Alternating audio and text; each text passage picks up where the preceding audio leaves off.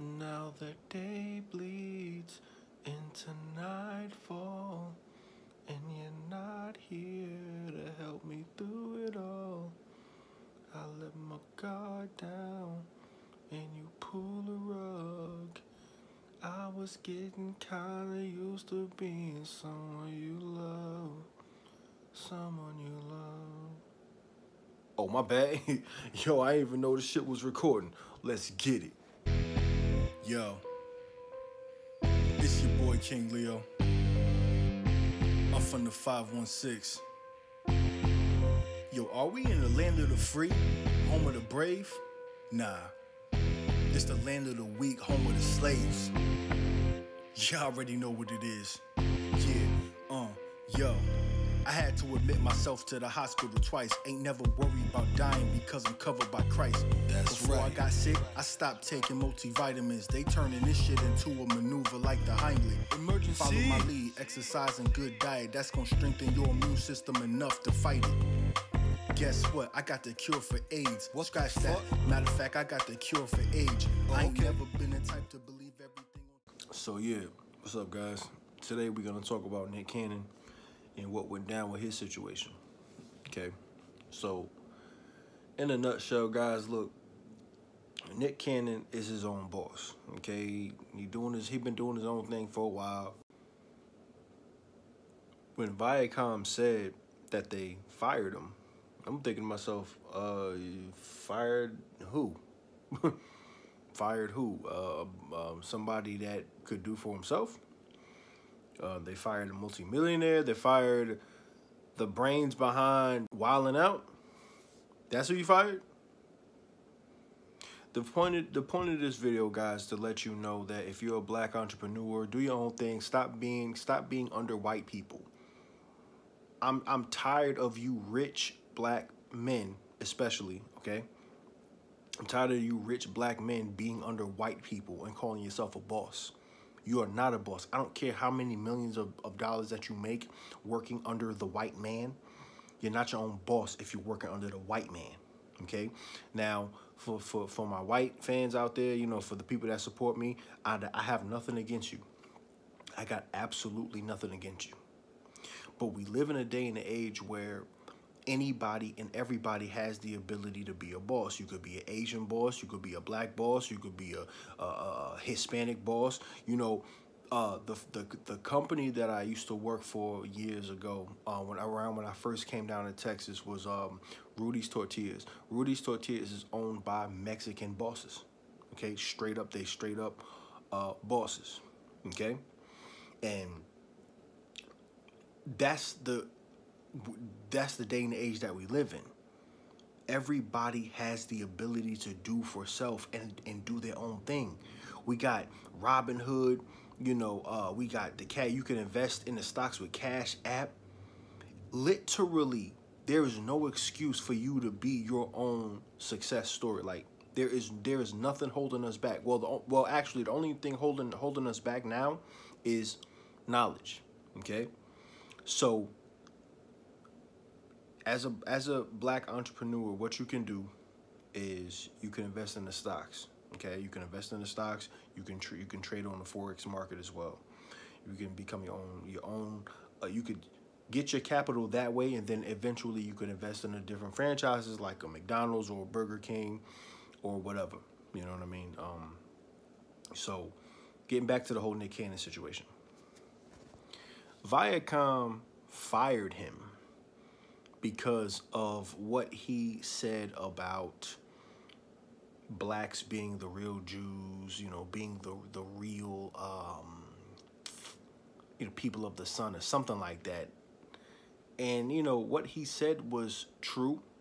What he said was true, but Nick, you are working under white people. And if you're working under white people, then you should have known that that would have been offensive. But I will applaud. I, will applaud uh, Nick Cannon for what he said because we already know he doesn't need Viacom to be financially stable, man. He doesn't need Viacom, and I believe that's why he said what he said. Let's call it what it is. I think I think Nick Cannon is tired. I think he's just tired. You know what I'm saying? Like just like the rest of us, we're tired of we're tired of white people being over us, breathing down our fucking necks. And like I said, I don't got nothing against no fucking body, man. Excuse my language. I don't got nothing against nobody. But we're no longer slaves. We have way too many black millionaires and billionaires today than we ever had in the history of this country. Okay? So the point I'm, I'm trying to say is there we have no excuse to still be working under the white man. You know what I'm saying? And I understand it's a mindset. You know, it, it you know, um, a lot of us, most of us, we were brought up to think that to work at Walmart or to work at Target, you know, these white-owned businesses, these white-owned corporations, we were literally taught that that's the way you should go about life. But it's not. It's not. The way you should go about life is try your hardest to become an entrepreneur. And if you don't care to become an entrepreneur, that's okay too. But make sure you have multiple streams of income because look, I know about people that are okay, 100% okay working at T-Mobile. It doesn't, for me, that doesn't make any sense. But I'm not everybody. I'm not her. I'm not that uh, that woman. I'm not this guy. I'm me. I'm better off being my own boss. That's why I don't work for nobody, guys.